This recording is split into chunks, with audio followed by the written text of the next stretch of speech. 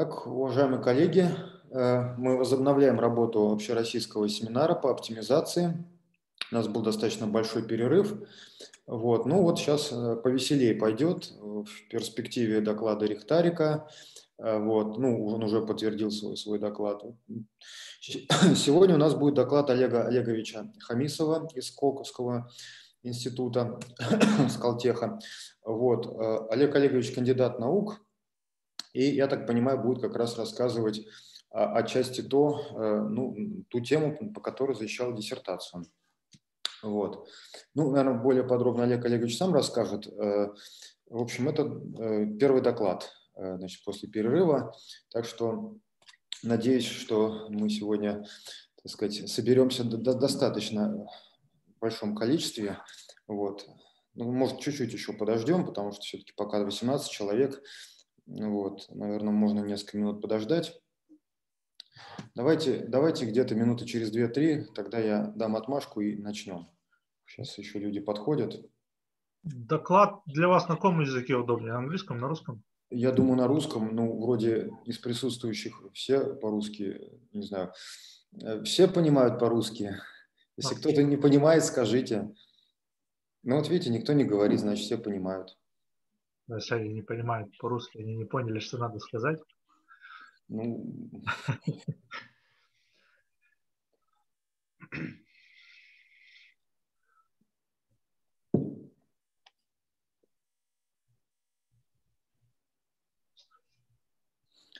А, а, а, Олег, а можно по имени просто? Я правильно понимаю, что вы в проектной смене тоже будете вот более-менее проект предлагать э, в Сириусе, вот э, более-менее вокруг вот этой темы, да?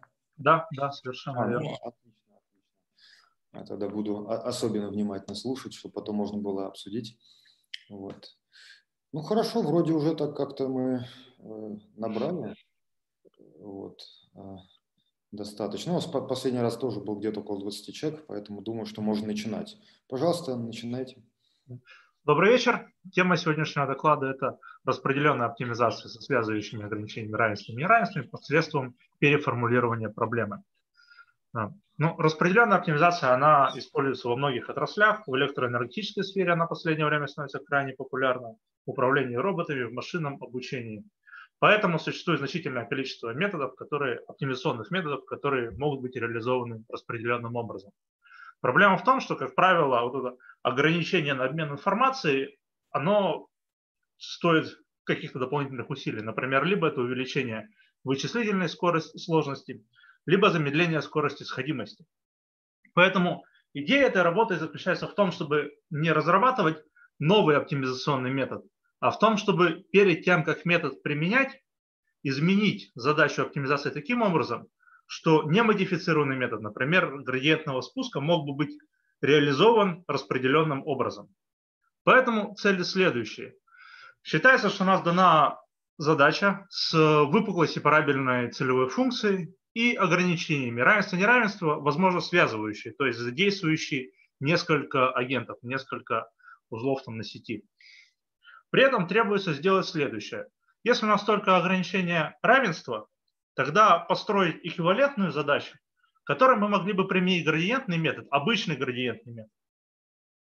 Но при этом так, что, но при этом задача бы позволяла его распределенное применение.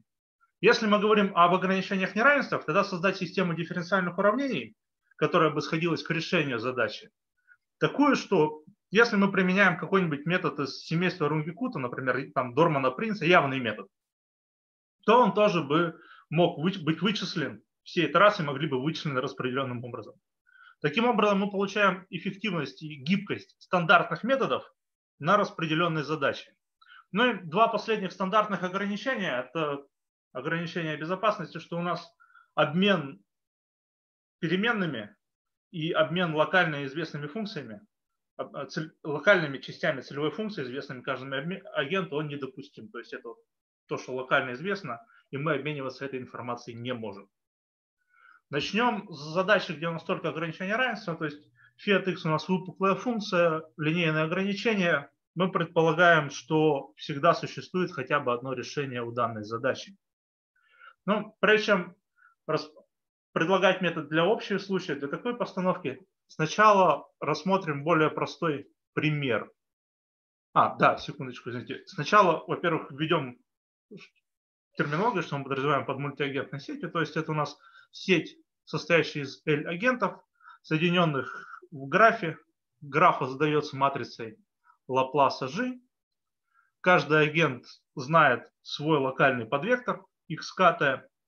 Целевая функция сепарабельная, и каждый агент знает свой кусочек этой сепарабельной целевой функции фиката, и также знает часть матрицы циката и часть вектора деката.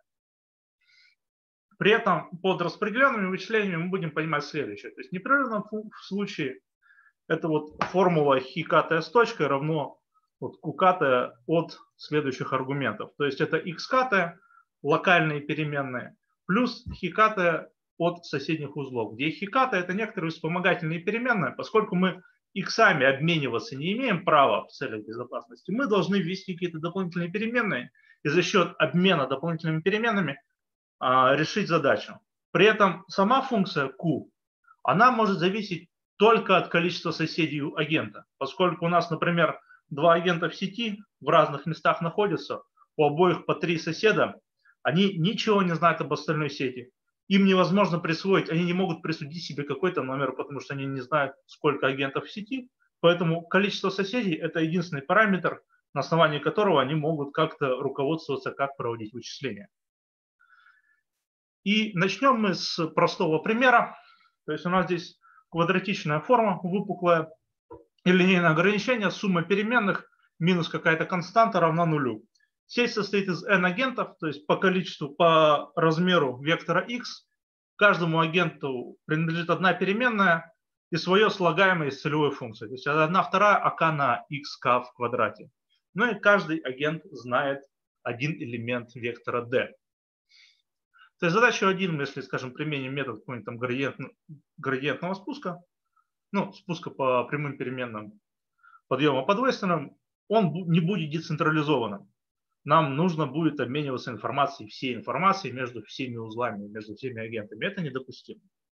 Поэтому предлагается следующая замена, а именно замена в ограничении равенства 2b. То есть у нас до этого был единичный вектор, умноженный на x, Теперь у нас единичная матрица, умноженная на x. Олег, Олег, извините, можно да. я по, прошлому, по прошлому слайду вопрос задам? А просто у нас матрица же диагональная вроде, да? да. А не получится децентрализованно сделать, потому что есть ограничения вот из-за этого. Да, да, то есть у нас здесь ограничение, оно связывающее, оно задействует все агенты, и поэтому здесь мы с ним ничего как Окей, все, просто так разделить задачу не можем. Хорошо, спасибо, да. Так, и поэтому мы заменяем ограничение 2b. То есть раньше у нас был единичный вектор умноженный на x, мы заменяем на единичную матрицу. Минус вектор d и плюс gy – это блок, который отвечает за обмен информацией между узлами. То есть G – это матрица Лапласа сети. То есть она определяется формулами 3, это мощность узла, если это диагональный элемент, и минус 1 или 0, в зависимости от того, что есть ли линия между ИЖ, узлами ИЖ или нет. Здесь HI – это множество соседних узлов в формуле 3. Она обладает двумя важными для нас свойствами. Во-первых, сумма строк, а также и сумма столбцов равны нулю, это матрица симметричная. А во-вторых, если у нас есть какое-то преобразование вида 4, то есть вот y new мы пересчитываем через формулу уже на y плюс f, если мы запишем поэлементно, мы увидим, что все, что нам нужно, чтобы вычислить компоненту i, это локальные y и fi и YG от соседей. То есть, в принципе, использование этой матрицы в таких выражениях вида 4 нам позволяет некоторую распределенную вычисление реализовать. А, Олег, вот тут мы видим желтые линии, я не знаю, вы их видите или нет, это вы делаете или это как бы... Нет, я вот тоже не понимаю, я мышку вообще не трогаю, они у меня как-то ага. возникли. Так, э, Может, как стереть можно? Так вот непонятно как. Может быть, э, может быть, вы перестанете демонстрацию экрана, а потом снова включите. Я надеюсь, что это поможет. Хорошо. Просто выключите, а потом включите. По идее, должно быть нормально. Да, вот сейчас снова включите. Так, сейчас вроде чисто все. Да, отлично, спасибо. Угу. Вот, значит, при использовании вот этих вот вот этой матрицы Лапласа мы получаем распределенные вычисления, если мы реализуем формулу 4. Теперь мы должны формально доказать, что у нас задача 5 совпадает с исходной задачей. Но тут получается, если мы рассмотрим решение x, y задачи 5, то возьмем ограничение равенства, сложим их, сложим все строки. Поскольку сумма строк матрицы G равна нулю, то мы получим исходное ограничение в задаче 1. Поэтому если x, y задачи, решение задачи 5, то x это решение задачи 1. Обратно это оказывается немного сложнее, но там через альтернативу Фрейд-Гольма тоже получается такой результат, что если у нас x звезду и решение исходной задачи, вернее, оно решение тогда и только тогда, когда x, y пара – это решение новой задачи. То есть, в принципе, задачи получаются по x, они эквивалентные. И теперь, если мы применим градиентный метод, то получается следующая ситуация. Вот у нас формально выписываем функцию Лагранжа, слева у нас стационарная точка для этой функции – и дальше мы принимаем градиентный спуск по прямым переменным и градиентный подъем по двойственным. Поскольку мы используем матрицу Лапласа, у нас получается следующая картина. Вот здесь в формуле 9 зеленым я пометил локальную информацию, которая принадлежит каждому агенту, а синим информацию от соседних узлов. То есть у нас здесь получается, нужно обмен только проводить лямбда двойственными переменными, соответствующими связывающим ограничениям, и y, этими вспомогательными переменными, которые мы ввели специально для коммуникации. X и целевая функция, в данном случае этот компонент аит на x и t, они остаются неизменными, они, вернее, остаются локальными и соседям никак не сообщаются. То есть вот мы получили градиентный метод, обычный градиентный метод, мы применяем к данной задаче, мы ее немного переформулировали и получили уже, что обычный градиентный метод становится распределенным.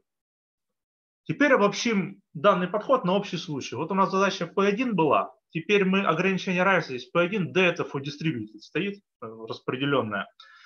Задача P1D мы формально также по такому же принципу переписываем ограничения. Я чуть ниже покажу, как именно это происходит. И для нее мы получаем такую же лемму, что у нас в исходной задаче, если x решение, вернее, оно решение тогда и только тогда, когда в этой задаче пара x, y решения. Ограничение равенства можно представить вот в матричной форме 10b. Формально вот мы вводим матрицы C0 и GM, они достаточно громоздко записаны. Но если мы перейдем к графической визуализации, тут получается достаточно понятно. То есть у нас в примере, как вы помните, мы переходили от единичного вектора, на который мы умножаем x, на единичную матрицу.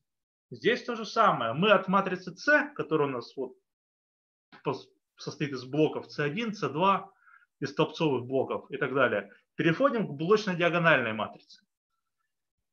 И если у нас до этого была одна матрица Лапласа, то теперь мы просто каждую строку дублируем для каждого ограничения и для каждого узла. Поэтому получается вот такая картина. Мы получаем диагональные блоки, то есть это диагональные блоки GM1, GM2, GML, они соответствуют каждому агенту. То есть для первого агента первый блок, для второго второй и так далее. И составляем из нее матрицу то есть это получается, мы просто продублировали L раз первую строку, L раз вторую строку и так далее, матрицы Лапласа.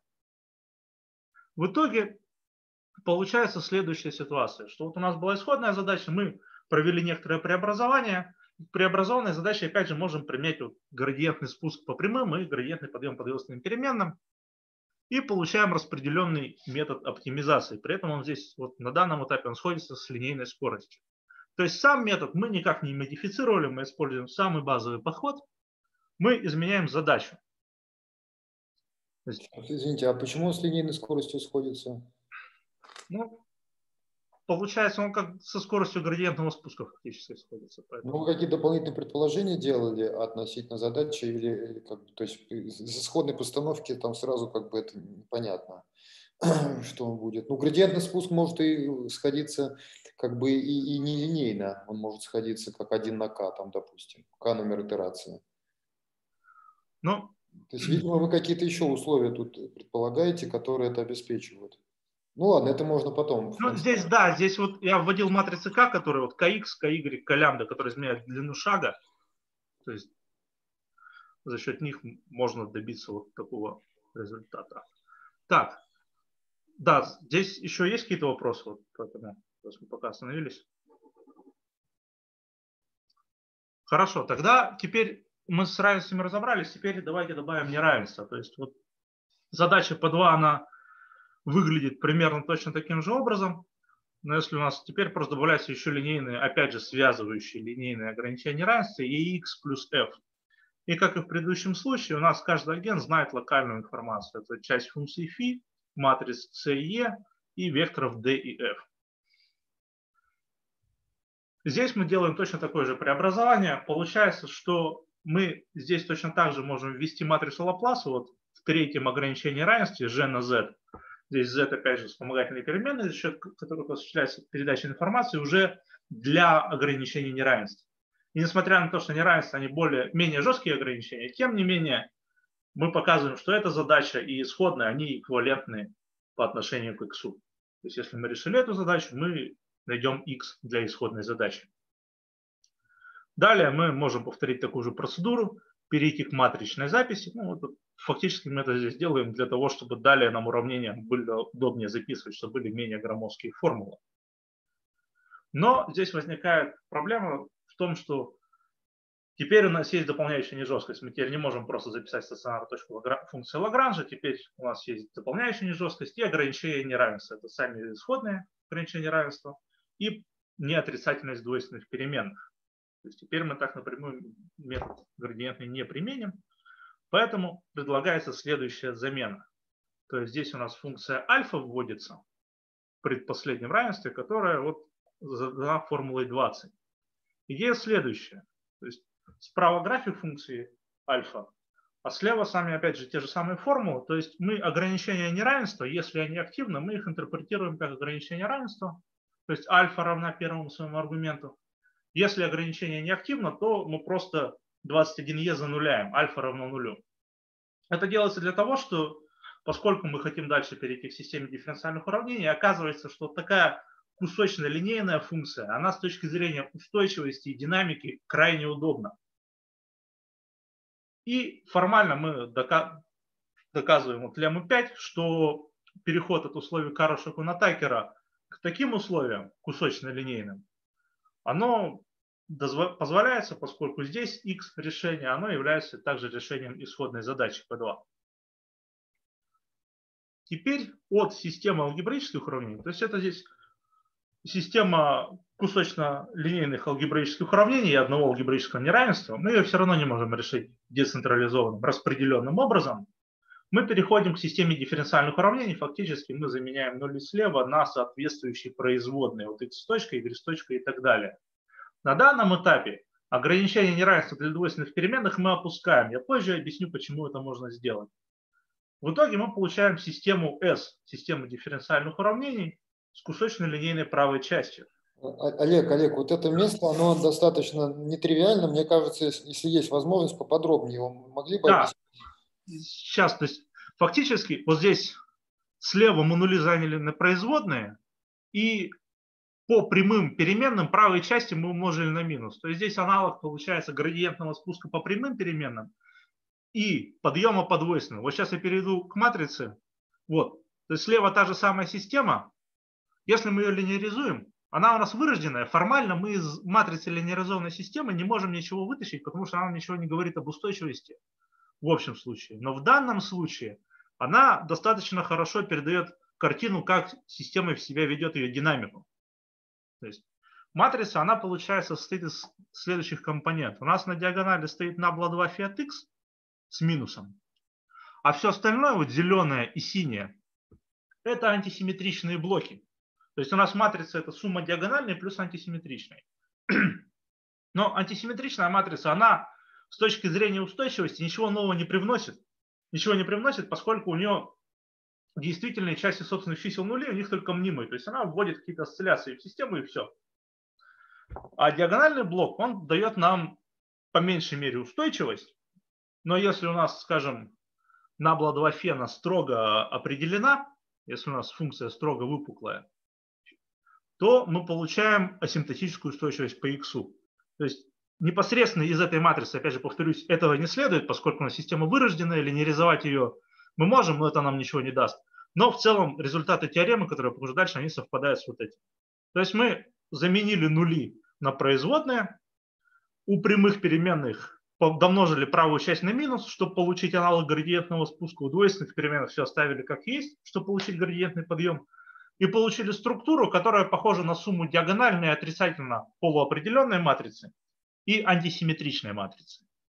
И вот для такой системы мы получаем теорему 1, которая говорит, что если у нас вот для вот такого множества начальных точек, здесь вот как раз гамма должна стартовать из положительной полуплоскости. Вот мы до этого положить неотрицательность двойственных переменных от нее отказались. Вместо этого мы подставляем требования на начальную точку, на стартовую точку. Это всегда осуществимо, потому что гамма – это искусственные переменные, которые мы сами вводим. То есть если какое-то это практическое переменение, они у нас на контроле или будут сами сидеть, мы их чему хотим, то мы их зададим. И поскольку они локальные, всегда их можно задать без каких-либо коммуникаций, без каких-либо проблем, не отрицательными в начальный момент.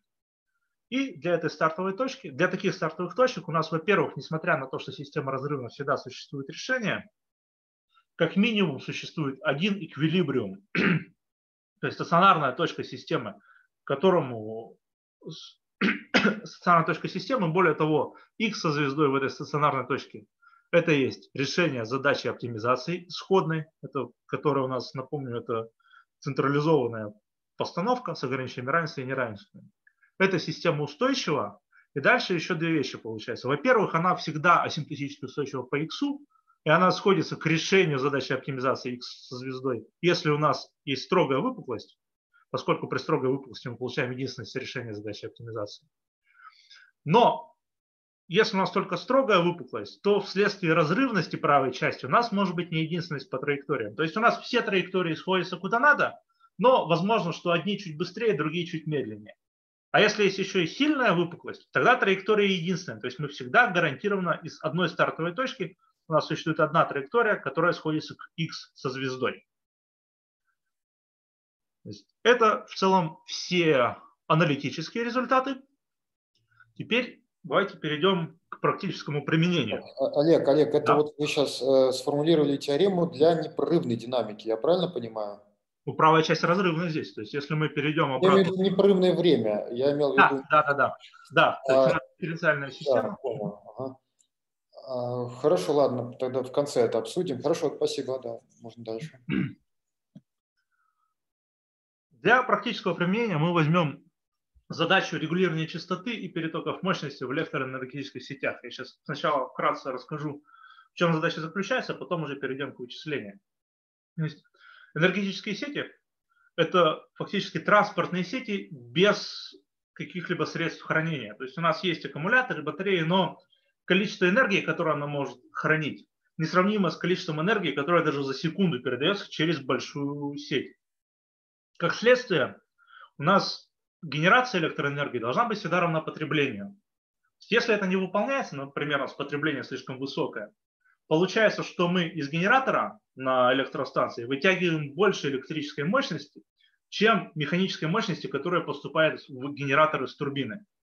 Но это получается, как машина едет в гору со слабой тягой, то есть она начинает замедляться, частота ротора генератора начинает замедляться, соответственно, частота в сети начинает падать. То же самое, если у нас слишком большая генерация, она начинает увеличиваться. Но это недопустимо, поскольку значительное отклонение частоты, они приводят целому ряду проблем, и в первую очередь это разрушение турбин генераторов. Второе ограничение, то есть у нас первое, то есть frequency control, регулирование частоты, оно отвечает за баланс, за поддержание баланса мощности в сети. Он должен быть всегда поддерживаем, потому что у нас нет никаких средств хранения. Второй момент – это вот по-английски congestion management, по-русски это управление перетоками мощности. То есть у нас есть ограничение сверху на переток по линиям, мы не можем передавать там больше, чем какое-то определенное количество, либо мы тогда теряем устойчивость по напряжению, либо у нас линия просто перегревается и может произойти обрыв. И второе, у нас, как правило, для обеспечения безопасности сети, она разбита на несколько областей, и перетоки между областями электросети должны быть всегда постоянными. Ограничения на линии здесь представляют дополнительную сложность, потому что, опять же, из-за специфики физических законов, связанных с э, электросетями. Если мы говорим о транспортной сети, например, у нас там, не знаю, грузовиками мы перевозим товар, мы можем сказать, что вот у нас такое-то количество грузовиков едет по одной дороге, такое-то по другой. Здесь не так. Здесь единственное, что мы можем управлять, это количеством мощности, производимой на генераторах. А перетоки мощности, они уже на линиях задаются вторым законом Киргофа. Мы это никак не можем контролировать. В принципе, есть технологии, которые позволяют там, установить некоторый переток определенной на линии, но они чрезвычайно дорогие. Поэтому, как правило, перетоком на линии мы в явном виде управлять не можем. Мы можем только изменять генерацию. И то есть идея в том, чтобы поддерживать баланс мощности и перетоки в допустимых значениях распределенным образом. То есть мы вводим ограничения на коммуникацию. То есть вот справа пример электросети, на котором мы будем работать. Это сеть Новой Англии, один из наиболее часто используемых примеров для каких-то теоретических или практических результатов. Она состоит из 39 шин, то есть здесь басос это шины, то есть узлов, и 48 линий.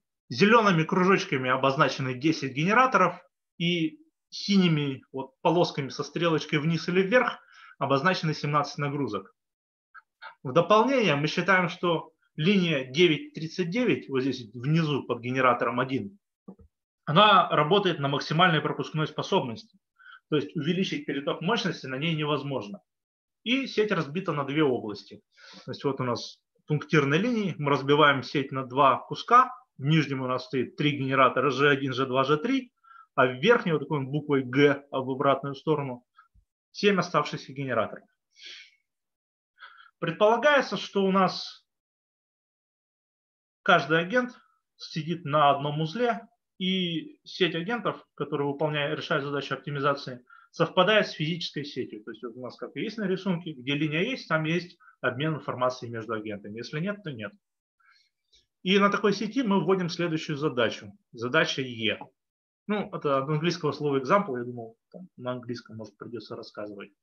То есть у нас первое, это мы минимизируем квадратичную функцию. Здесь W – это диагональная матрица, это матрица но это не совсем цен, это скорее всего, скорее затрат с точки зрения безопасности на генерацию, на отклонение от некоторого заданного значения. Второе уравнение. Здесь P – это перетоки мощности, U – это значение генерации или потребления. Второе E2 уравнение – это баланс мощности, это первый закон Киргофа. Третье уравнение – это второй закон Киргофа. Здесь тета, здесь опечатка, здесь BC транспонированная тета просто должно стоять, не тета минус тета. Тета – это фазовые углы. 4, а, 5 – это ограничение сверху снизу на генерацию потребления мощности и на перетоки. И последнее – это перетоки между, ограничения на переток между областями. То есть здесь параметры следующие. C матрица – это матрица инциденции сети. B – это параметры линий. S – это агрегированная матрица инциденции для областей. То есть если мы вернемся назад, то S компоненты следующие. Если у нас линия переходит из одной области в другую, это 1 минус 1, в зависимости от того, входит она в область или выходит. И 0 в остальных всех случаях, если линия не пересекает вот эту вот э, черту, разделяющую области. То есть вот сама задача оптимизации, но мы, в принципе, для нее доказали теоретический результат. Мы знаем, что если мы применим наш метод, получим систему дифуров, она у нас сойдется к решению. Поэтому хотелось бы немного расширить за пределы теории задачу и ввести некоторые сценарии. То есть предположить, что у нас, во-первых, топология графа изменяется, а во-вторых, ограничения тоже меняются. Поэтому предлагается следующий сценарий. То есть в момент времени 0 считается, что система оперирует, работает в стандартном режиме. Нет никаких возмущений в сети, у генераторов ограничения сверху-снизу стоят на плюс-минус 20 мегаватт, и нагрузки никак не участвуют в управлении. Под управлением нагрузками мы подразумеваем не аварийные их отключения, а, например, если мы говорим о кондиционерах, у нас есть дом, мы можем в нем часть кондиционеров отключить, тем самым без какой-то неудобства для потребителя снизить потребление резко. В первую секунду происходит авария. То есть здесь partial power outage – это частичное отключение мощности на генераторе.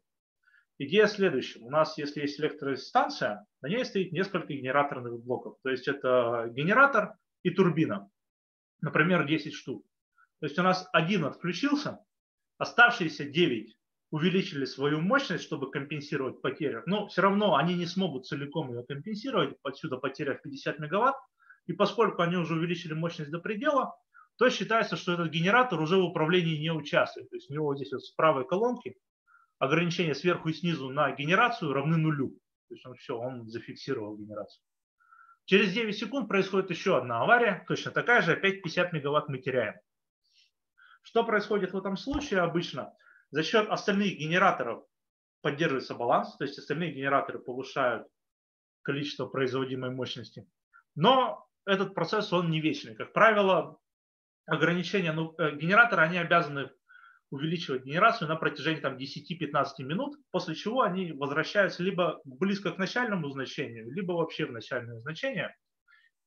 Это связано с тем, что, во-первых, системный оператор за 10-15 минут должен найти откуда-то достать резерв мощности, чтобы покрыть потерю.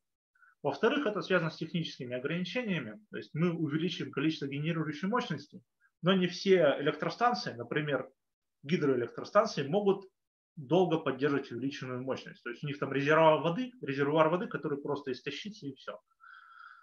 Поэтому в реальной жизни через 15 секунд происходит сужение пределов регулирования. Но для того, чтобы сделать более иллюстративную симуляцию, мы считаем, что изменение происходит через полминуты после начала сценария. В то же время предполагается, что вот системный оператор видит, что ограничения начинают уменьшаться, у нас не хватает управления, чтобы поддерживать баланс мощности в соответствии со всеми ограничениями, поэтому включает управление нагрузкой. То есть это все происходит не мгновенно, это не шаговые изменения, а плавные изменения. То есть генератор уменьшает генерацию предел на 50 кВт в секунду, нагрузку увеличивает на 100 кВт в секунду. В момент 40 секунд ограничения устанавливаются на константных значениях. Это плюс-минус 15 мегаватт для генераторов и плюс-минус 1 мегаватт для нагрузок. И в конце, через 15 секунд, происходит третья авария. У нас происходит обрыв линии 4-5. То есть вот такой сценарий. У нас здесь получается и неоднородность в ограничениях равенствах, ну, вектор неконстантен, и топология сети неконстантна, и ограничения сверху-снизу на генерацию тоже не константны. И в итоге мы получаем вот такую динамику переменных. Слева верхний график – это динамика иксов, то есть генерации, из этих U, то есть генерации для генераторов. Внизу это отклик нагрузок после того, как они были включены. То есть вот начнем с левого верхнего слайда. Вот у нас произошла авария в момент 1, в первую секунду. Часть генераторов увеличила мощность, чтобы компенсировать потерю мощности на десятом генераторе, часть уменьшила, чтобы все ограничения, то есть ограничения на линиях и межобластные выполнялись. Но при этом вот они уже почти установились вот здесь режимы.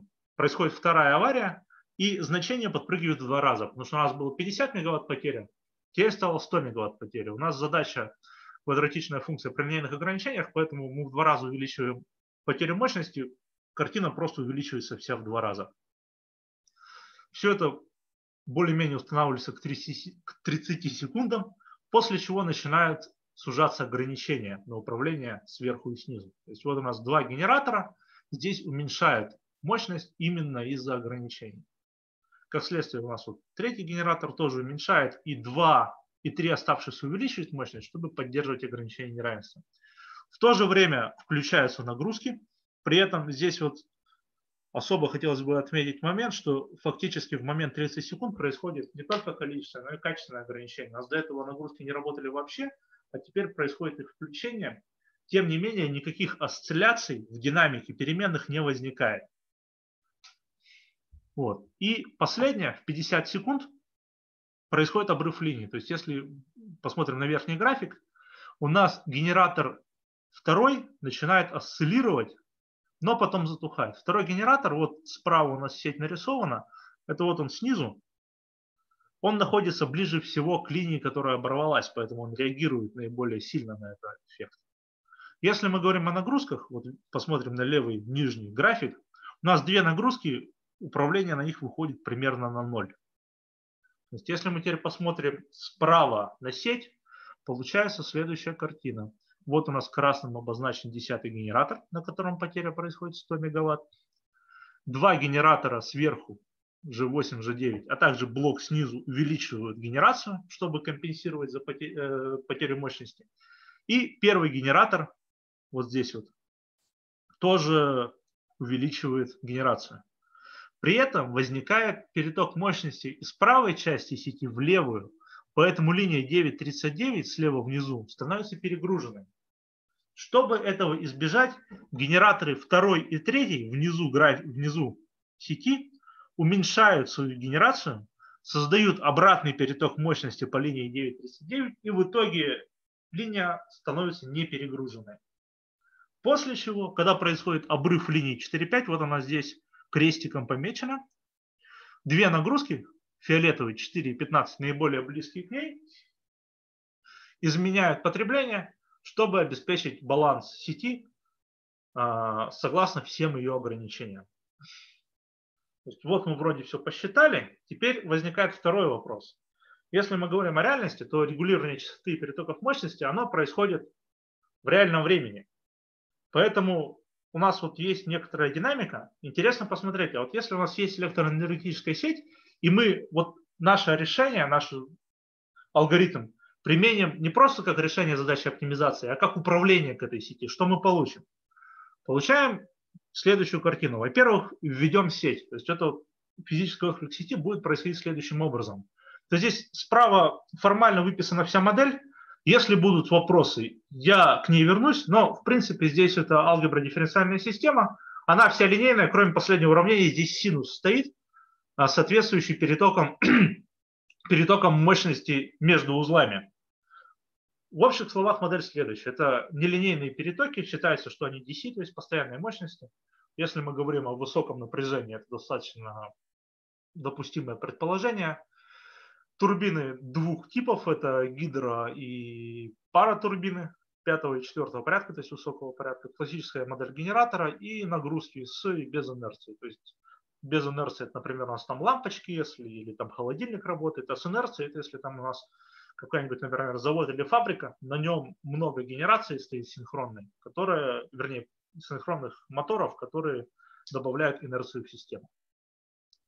И вот такой получается отклик сети. Слева вверху это просто продублированный график наших переменных, которые мы оптимизируем. Справа вверху это частота сети. То есть частота это индикатор баланса. Как мы можем заметить, вот здесь происходят два проседания. Это ситуации, соответствует ситуациям, когда мы теряем по 50 мегаватт мощности на генераторе. Далее она немного осциллирует и потом устанавливается на 60 Гц. 60 Гц это номинальное значение для России, нет, не для России, извините, для Америки. Сеть Новая Англия, она в Америке находится, поэтому 60 Гц здесь стоит. Вот. 50 секунд происходит обрыв линии, но вот как можно здесь заметить, на частоту это практически не, никак не влияет, поскольку изменение топологии графа не влияет на баланс мощности. Частота – это индикатор только баланса. Поэтому линия оборвалась, Иногда в некоторых случаях возникает осцилляция вокруг нуля на частоте, но вот в данном случае даже осцилляции не возникло, все так и устоялось на номинальном значении. Слева внизу это график перетока мощности на загруженной линии. Напомню, это вот линия 9.39 вот здесь внизу. То есть она реагирует на обе потери мощности, у нее переток повышается, После этого управление, ну, в данном случае уже можно назвать управлением, поскольку мы применяем более-менее динамически, приводит систему, приводит переток к номинальному значению, обрыв линии добавляет некоторые осцилляции, но в целом вот он устанавливается, отклонение его останавливается в нуле. И последний график справа внизу – это переток между областями. То есть у нас опять же сильная реакция на потерю мощности дважды, после чего график выходит примерно на ноль, но это происходит в момент 30 секунд. В этот момент у нас изменяются ограничения на управление. То есть вот слева вверху, если мы посмотрим на график, это тот момент, когда у нас включаются нагрузки и уменьшается мощность, подаваемая с генераторов. Поскольку у нас генераторов в верхней области больше, это получается у нас небольшой перекос из-за этого в межобластном перетоке вверх, но после чего он устанавливается в номинальном значении. Опять же, в 50 секунд происходит небольшое, небольшое возмущение из-за обрыва линии. Вот это получается такой численный эксперимент. И заключение следующее, что целью данной работы было получить алгоритм, который вместо того, чтобы напрямую как-то распределенным образом решать задачу оптимизации, он задачу модифицирует так, что у нас стандартный метод, либо там градиентный спуск, либо какой-нибудь явный метод решения дифференциальных уравнений, например, Дормана принцип, что у данных примеров было использовано, мог решать систему распределенным образом. Ну и проведены численные эксперименты, которые подтверждают теоретический результат, а также показывают, что если мы применяем задачу к в случае, когда у нас как-то там топология графа изменяется от времени или параметры сети изменяются от времени, система все равно дает хороший результат. Все, спасибо за внимание. Спасибо, спасибо. Пожалуйста, вопросы.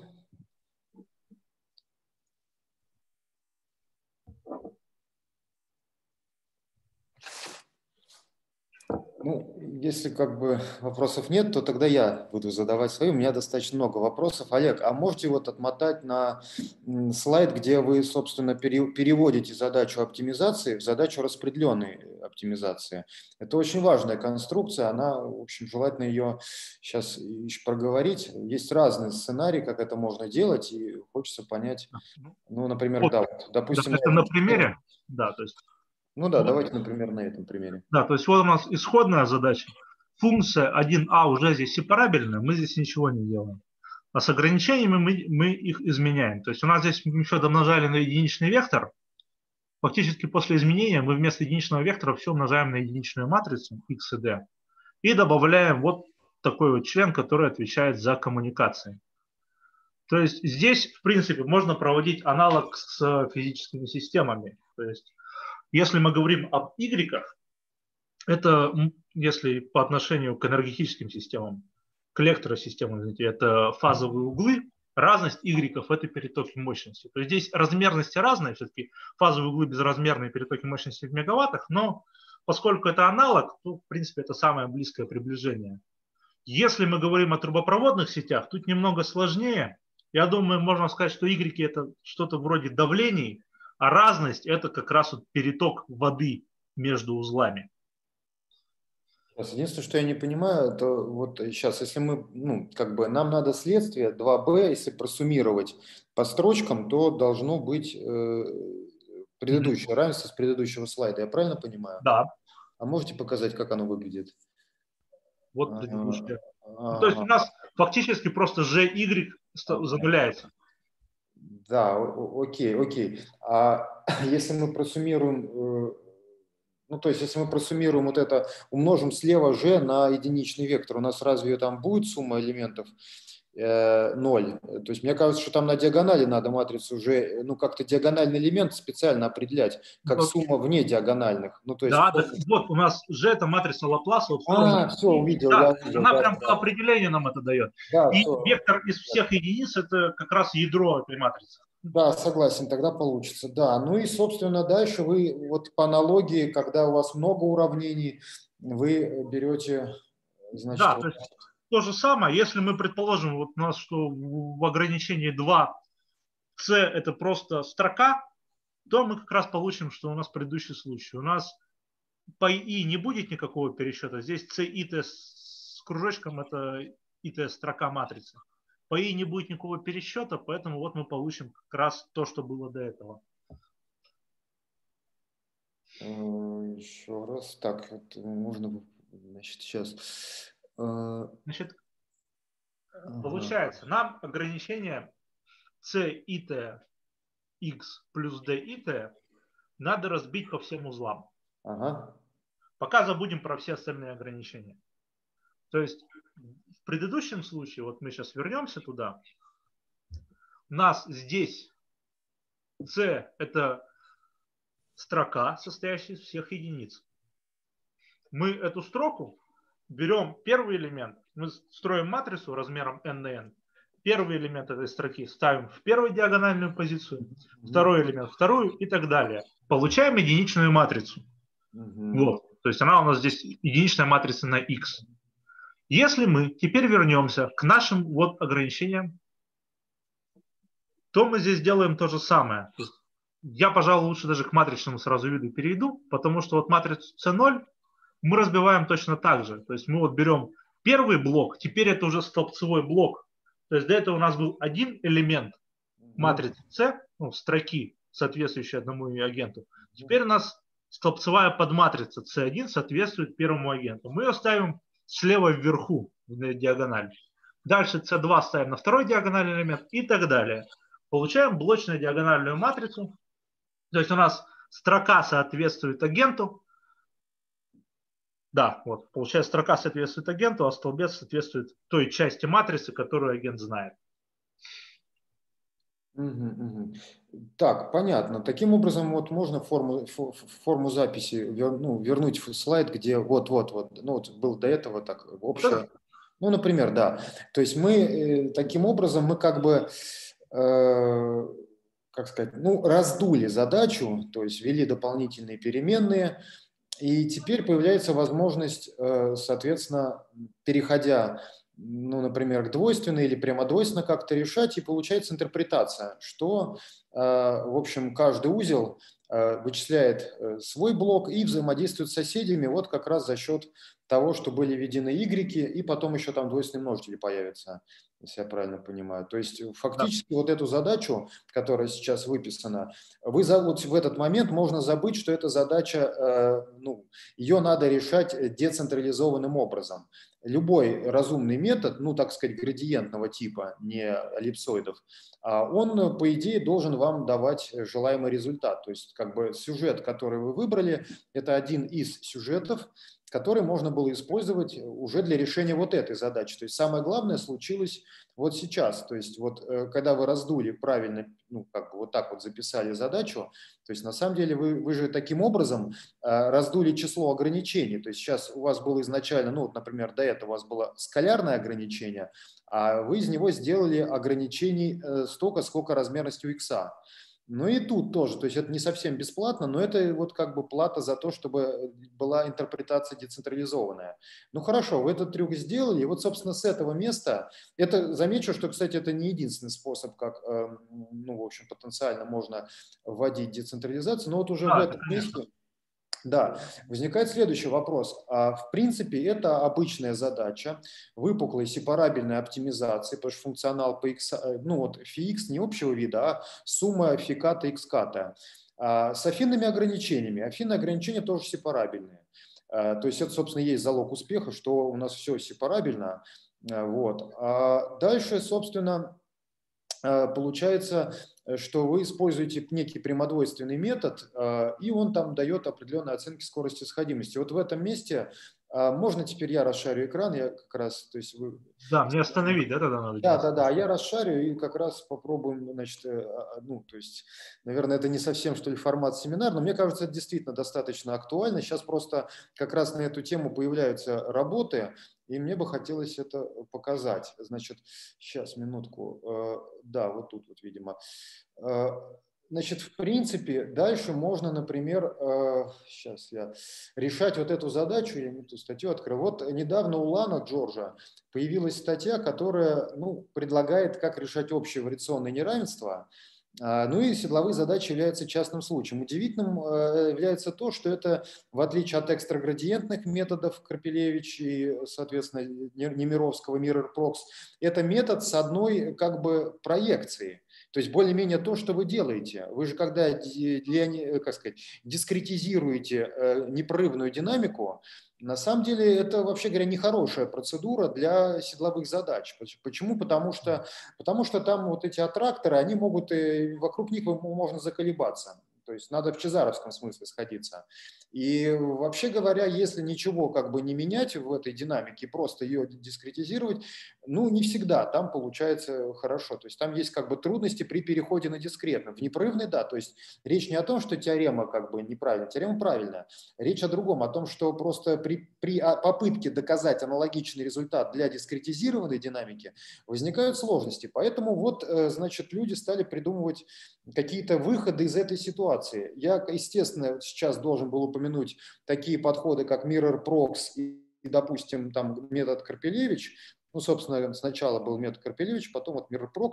И это методы, работающие по нижним оценкам для седловых задач. То есть вы их просто можете применять к вашей задаче. И они будут, э, с точки зрения седловой задачи, это будет наилучший способ. А вот недавно, вот буквально в, прошлом году в конце, был вот такой, такая вариация метода. Отличается он от MirrorProx тем, что здесь всего одна проекция. То есть это ожидается, что на практике будет еще быстрее. И здесь, возможно, какая-то интерпретация ну, связи вот с э, таким вот э, дискретизацией той динамики, которую вы э, использовали, но замечу, что здесь есть некий моментный член, то есть это идея Лана с коллегами, что подобно ускорению в методах э, значит, вот, э, для выпуклой оптимизации, здесь тоже вводится моментный член, и вот значит, это, так выглядит итерация, где f – это операт, ну, вектор поля, это вариационное неравенство. Но седловая задача – это частный случай вариационного неравенства, то есть у вас это будет f состоять из градиента по прямым переменам и минус градиента по двойственным двойственным. Вот что такое f будет в вашем случае. Естественно, такую задачу можно записать, и там будет гарантия скорости сходимости. Вот в, в линейном случае действительно как у градиентного спуска, когда линейная, ну и когда вырожденная динамика тоже как у градиентного спуска. Но только теперь уже это будет доказуемо с, вот, соответственно, с, ну, такой результат.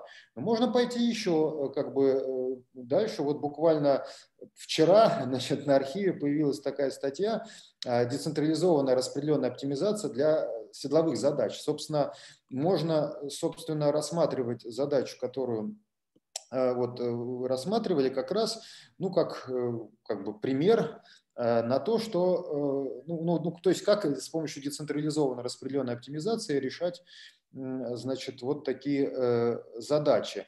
И здесь, в общем, тоже можно написать и оценки, и как бы процедуры, только здесь на, на основе мира прокса. Вот. И я думаю, что это будет похоже на то, что у вас просто а, просто будет э, теория, которая уже для дискретной динамики. Тут не очень, конечно, это все компактно делается, но я, наверное, перестану, пере, это, перестану расшаривать экран. Просто мне кажется, что это, а, если можно, да, наверное, вернуться к презентации можно вашей. Просто хотел отметить, что в принципе, вот э, кажется, что подход, который вот вы как бы предлагаете, он фактически, если, например, э, смотреть на это как на седло, мы же можем эту задачу седловым образом записать, ну вот э, получается, что можно использовать такие наработки. Вот. Это, это как бы лишь одна линия. Вторая линия, она связана с тем, что квадратичный функционал имеет понятный двойственный. То есть мы можем явно построить двойственную задачу.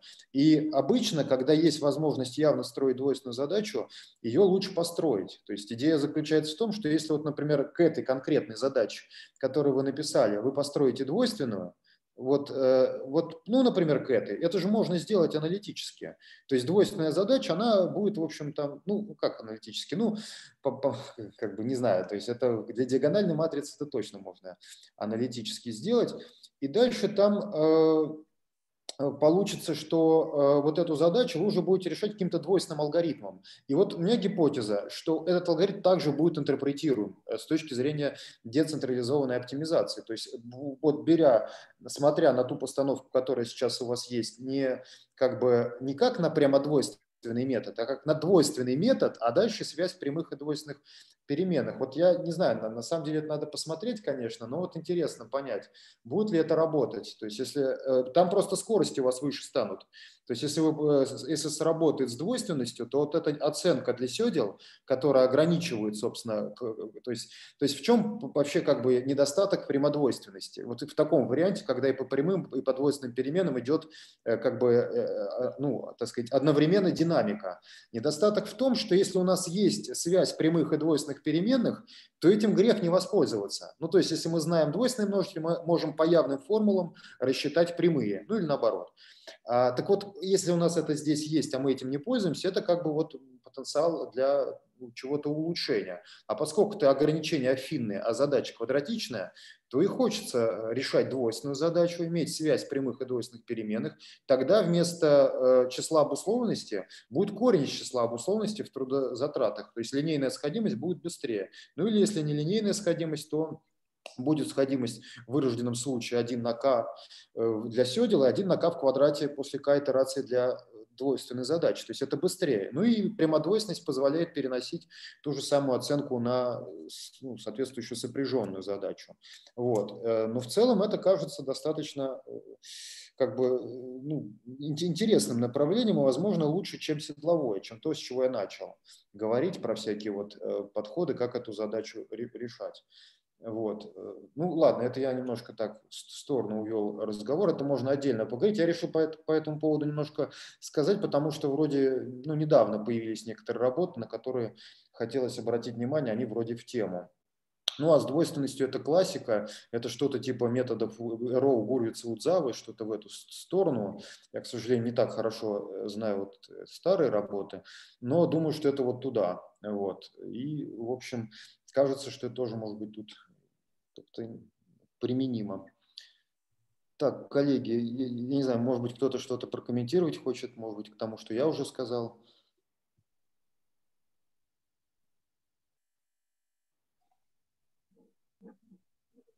Олег, ну, может быть, я не знаю, вы что-то, если пробовали, можете как-то это уточнить, ну, тоже мой, мой комментарий. То есть, если, например, вы что-то проверяли из того, что я сейчас говорил. И просто... Дискретными к сожалению, не особо, потому что здесь получилось, что задача шла она от энергетики. То есть сначала была вот эта задача поставлена, mm-hmm. то есть нужно было распределенное управление получить, но там, как правило, подобные задачи нам именно явная динамика не особо нужна. Нам важно, чтобы система сослась к конкретной точке, а потом уже динамику как-то подстраивают. Потому что даже вот эта модель, она это все-таки некоторая аппроксимация.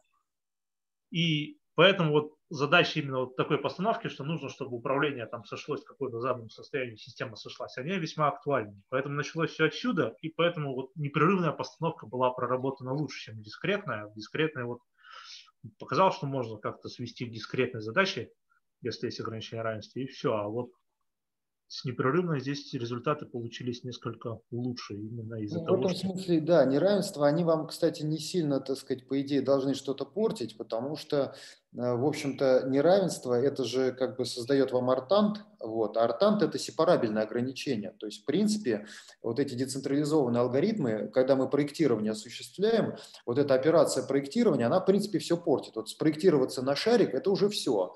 Эта децентрализация не нравится, такие операции. Хотя, казалось бы, что там на, на шарик-то спроектироваться.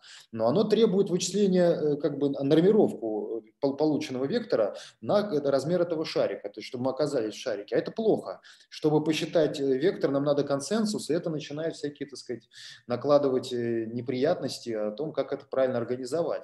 А вот с сепарабельными ограничениями, коим является артант неотрицательный, это не проблема. То есть вы можете вполне э, применять все, что я сейчас говорил, совершенно не заботьтесь о том, э, вот если брать именно такой классический седловой подход, там же, по сути, расплата за неравенство только в том, что у вас появляется арта, ну, ограничение неотрицательности. Вот. И с точки зрения численных методов оптимизации, ну что, ну надо проектироваться, значит, на это множество. Но как бы тогда же лучше, то есть если метод как-то сходится без этого дела, то с проектированием это сжимающий оператор, в общем-то, не, ну, то есть как бы хуже-то не сделает. Поэтому тут э, кажется, что неравенство это как раз за них войны-то особо и нет, вот. А, наверное, война за то, чтобы как можно меньше раздуть пространство и по максимуму воспользоваться а, некой структурой задачи. Но я не до конца понял, какая у нас матрица, которая вот в квадратичной форме. Поэтому я как бы так аккуратно вот говорю. Да, вот это дубль Здесь, здесь это диагональная была. То есть это стоимость изменения управления. Ди диагональная? Да, да. То есть это на каждом а, генераторе там своя стоимость. Ну, блочно, наверное, диагонально. То есть имеется... Нет, нет, прямо идеально диагонально. То есть у нас, например, вот есть там атомная электростанция, у нее коэффициент будет большой, потому что мы ее особо менять не хотим. У гидроэлектростанции он будет маленький, но там у угля побольше, у газа поменьше, там, у возобновляемых источников тоже будет достаточно большой, потому что ими там, управлять не очень удобно. Но вообще, то есть W здесь матрица это диагональная. Ну, тогда, по идее, все должно получиться из того, что я сказал. Единственное, что меня немножко еще смущает, что я немного общался с энергетиками до этого. Вот если я правильно понимаю, вот эта задача, она есть как бы лионеризация настоящей задачи. То есть они сложную исходную задачу приводят вот к этой. И, в принципе, попытаются как-то вот эту исходную задачу ну, аппроксимировать, что ли, вот это. Я, я правильно понимаю? Да, здесь, смотрите, вот получается следующая ситуация. Вот я сейчас открою систему э, дифуров, это физическая система. Здесь два источника нелинейности. Первый – это, если мы говорим, ну, то есть у нас переменного тока сеть, то есть активная и реактивная мощность, между ними взаимодействие нелинейное. Но если мы говорим о сетях высокого напряжения, то есть вот тот пример, который мы рассматриваем, там реактивная и активная мощность, они практически полностью отделимы. Поэтому вот мы рассматриваем DC, вот Power Flows, первый пункт, это стоит за именно то, что мы рассматриваем активную часть. А реактивная часть, это уже там управление напряжением, она идет отдельно, они практически между собой не связаны.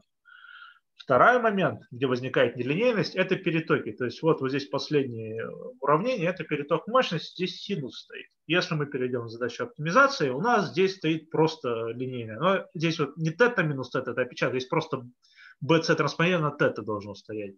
Но здесь плюс в том, что это переток мощности, на баланс мощности он не влияет. А если мы говорим о том, что у нас задача отклонения происходит от физической системы, то это не так страшно, потому что ну, если мы нарушили переток мощности, слишком много тока подали, у нас возникает перегрев. И, как правило, превысить на 5-10% ограничения можно. Это во-первых. А во-вторых, даже если мы превысили больше, то у нас есть 20-30 минут, чтобы данную проблему устранить. Спасибо, ну здорово, вот когда так как бы не просто доклад по оптимизации, а вы еще так все комментируете как жизнь, это, по-моему, очень здорово. Я вот всегда так завидовал, кто так умеет, я... времени не хватало обычно, то, что так. Э, здорово. Значит, а еще такой момент есть, я просто с другим коллегой из Колтеха тоже обсуждал похожую задачу, мне они говорили, что они используют ADMM, ну то есть тоже распределенные децентрализованные алгоритмы, но э, как Augmented, Modified, Lagrange, что-то такое вот, ADMM называется. Елена Грязина случайно. Они да, да, ну там у него да. коллектив, там и Сергей Парсегов есть еще. Да, да, здесь плюс в том, что, да, ADMM он используется, но он, как правило, используется на более крупном временном интервале. То есть я сейчас вот кратко расскажу, как вот это вообще регулирование частоты происходит. То есть у нас каждые там 15-30 минут решается задача потока распределения, это Optimal Power Flow. Вот к ней иногда бывает, к ней пытаются применить ADMM. Для нее это достаточно популярный вопрос, можем ли как-то применить или нет. Здесь задача немного другая. Здесь нам нужно именно, чтобы динамика была постоянно с первого момента. Мы можем вытягивать значения генерации, и чтобы они сильно не скакали. с ADMM это немного сложнее. Вот насколько я работ знаю, ADMM для именно регулирования частоты не используется. Он решает именно какую-то стационарную задачу. То есть мы получили, поставили задачу оптимизации, решили, изменили режим работы сети. Опять же, получили задачу оптимизации, решили, изменили работу сети. Здесь же, если у нас произошла авария, нам нужно реагировать через несколько секунд. Даже по-хорошему, там, через секунду уже управление должно как-то изменяться. Поэтому вот для более быстрой реакции DMM, насколько мне известно, не используется. Олег, а можно вас попросить вот буквально кратко, может быть, несколько слайдов добавить вот к этой презентации, и тогда ее мы и выложим, ну, если вы не против. То есть да. просто этот проект, ну, то есть вообще это как бы достаточно большое, интересное направление, и потенциально студенты его там в будущем будут выбирать, там что-то пытаться сделать, там, ну, то есть в том числе то, что вот мы сейчас обсуждаем.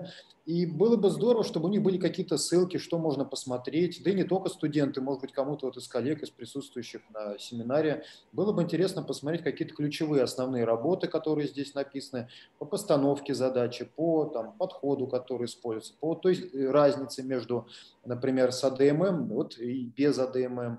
А я так понимаю, там не так много каких-то фундаментальных работ, вот как обычно в области там несколько главных работ. Вот если вы могли их как-то отметить и список литературы привести с некоторым пояснением, э, так сказать, что чего означает, это было бы очень ценно. Потому что в совокупности вот с тем, что вы рассказали, вот это вот дополнение было прям очень-очень уместно. Вот. Ну и, конечно, там маленькие опечатки. И вот это я, в принципе, буду рекламировать студентам, чтобы они могли Можно посмотреть. Вопросик Да-да, конечно, пожалуйста. Да, Олег, вот э, уже из практики, чуть-чуть в сторону от э, оптимизации. Вот э, на этом слайде. Матрица В – это стоимость, имеется в виду материальная, да? стоимость угля, воды? Нет, нет, нет. Здесь вопрос в регулировании частоты – это вопрос безопасности сети. То есть если мы не поддерживаем баланс, например, мы там на 2 Гц отклонились, это обычно значение, на котором генератор начинает отключаться. Турбина начинает mm-hmm. разрушаться, если работает при сильном отклонении. Поэтому W здесь стоит за, ну его, то есть даже вот control effort это так функция называется, то есть это стоимость усилий управления. Она также выбирается с точки зрения безопасности. То есть стоимость угля здесь значения не имеет, поскольку если у нас сеть развалится, это очень дорого ее восстанавливать. То есть там шестичасовое восстановление разрушенной сети, оно порядка годового бюджета на всю электроэнергетику. Хорошо, понятно. Тогда еще вопрос. А вот э, все разные генераторы имеют разное время выхода на новые значения мощности. Да, совершенно э, верно. Где, да, это, где это в уравнениях учитывается? Вот, смотрите, вот я да. здесь не пометил. Вот это, это уравнение для паротурбин. Здесь вот Т1, Т2 и так далее, Т5 это временные константы, которые отвечают за реакцию. То есть, как mm-hmm. правило, паровая турбина – это три турбины высокого среднего давления, подключенные к генераторам. Mm-hmm. Плюс преднагреватель. И вот эти все константы, они за них отвечают. Как быстро каждая турбина реагирует, как быстро там клапаны, которые отвечают за то, чтобы открывать, закрывать, изменять подачу пара турбины. То есть это для паровых турбин в данной модели. А вот это я выделил, это для гидротурбин. Там основной момент – это скорость изменения, поскольку там вода, а не пар. Там да. изменение подачи воды – это достаточно затратная, медленная операция, и вот она как раз описывается этой моделью. И опять же, коэффициенты Т1, Т4, они отвечают за динамику, за, изменение, за различную динамику различных турбин. Хорошо. И, наверное, может быть, последний тоже практический вопрос. Э, представленные результаты в конце у вас моделирования да, вот, ну, например, в таком виде. Это частота, когда мы все-таки вернулись к 60, да, и это реакция на изменение вот мощности. А в чем здесь была оптимизация? То есть как можно сравнить с неким неоптимизированным решением? А, да, я здесь это не привел. Стандартный подход – это угу. применение PI-контроллера, то есть пропорциональный интегральный регулятор. Угу и если говорить, да, то есть он отвечает за частоту и перетоки мощности, за перетоки по конкретным линиям он не отвечает. Там включается корректирующее управление. То есть если у нас линия вдруг стала сильно нагреваться, там включается задача OPF, оптимального потока распределения. Она не, то есть это уже не управление, это прям статично мы пересчитали задачу, поменяли режим. Если мы говорим о динамике PI-регулятора, он работает медленнее, порядка вот 80-90 секунд ему нужно, чтобы он частоту восстановил. И то же самое с перетоком мощности между областями. Там возникает проблема, что физически невозможно увеличить коэффициенты при PI-регуляторе из-за запаздывания в, турбинах. То есть вот если мы вернемся к этим уравнениям, вот здесь последнее. Это турбина, такая более общая формула. Турбина второго порядка. Это самое простое, как мы можем ее просимулировать. Здесь U – это управление. Если мы поставим управление пропорционально интегрально слишком большими коэффициентами, вот этот блок нам даст неустойчивость. То есть у нас частота начнет все больше и больше осциллировать. Поэтому вот эти 90 секунд, там 90-120 даже, они ограничены именно за счет физической системы. Если мы применяем этот метод, мы получаем некоторое ускорение. В этом методе возникает другой вопрос, который не, здесь не рассказывал, поскольку это все-таки не по энергетике задача. Нам часто, вот я здесь обозначил через букву R, это изменение мощности вследствие аварии или еще чего-то, они нам неизвестны. что-то где-то отключилось, какая-то линия оборвалась, непонятно, что произошло. Поэтому для данной задачи вопрос еще не только в том, как быстро решить задачу оптимизации, а как еще восстановить, что произошло в сети. То есть в этот момент я здесь не рассказывал, но тоже есть методы, которые позволяют нам как-то аппроксимировать R с достаточной точностью, чтобы применять некоторые более быстрые методы, чем просто пропорциональный интегральный регулятор. Хорошо, понятно. Спасибо. Спасибо. Спасибо. Есть ли еще вопросы?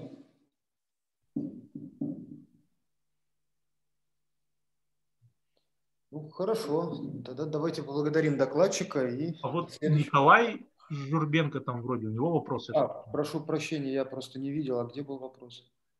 Он руку поднял, написано. Там. А, да. да, пожалуйста, да. Добрый день.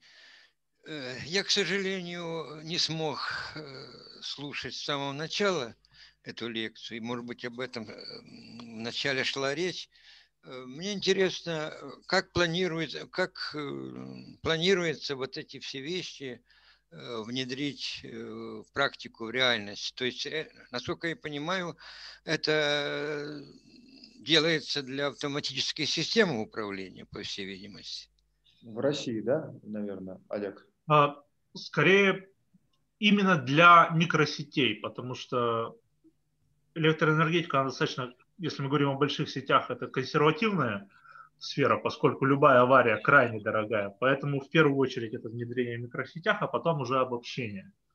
Mm-hmm. Вот, то есть, вот. Mm-hmm. А примеры вот э, подобных э, внедрению уже, так сказать, есть где-то аналоги там?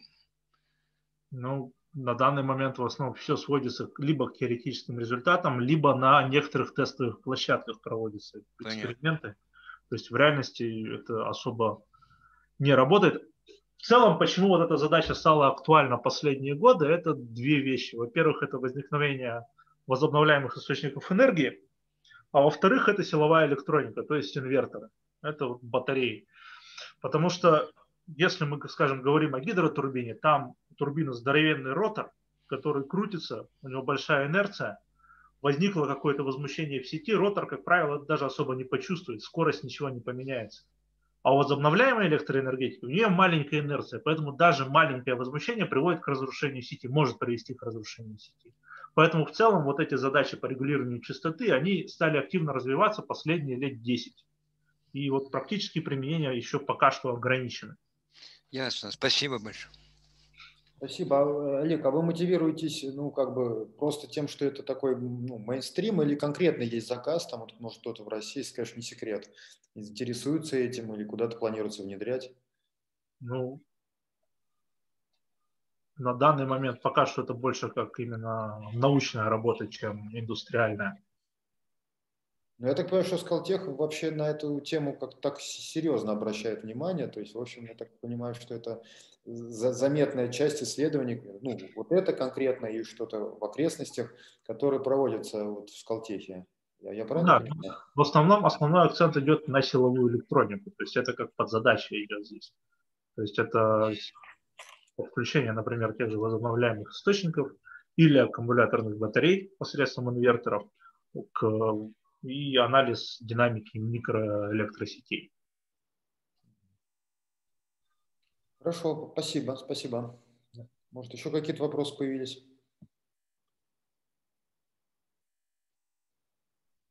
Ну, вроде тогда все. Спасибо еще раз за доклад. А, в следующий раз, наверное, уже будет в марте, но мы, естественно, сделаем рассылку. Будет Питер Рихтарик делать доклад с большой вероятностью. Может, что-то еще раньше появится. Вот, будем держать в курсе. Спасибо. Тогда до следующего раза. Спасибо. До свидания. Да, до свидания.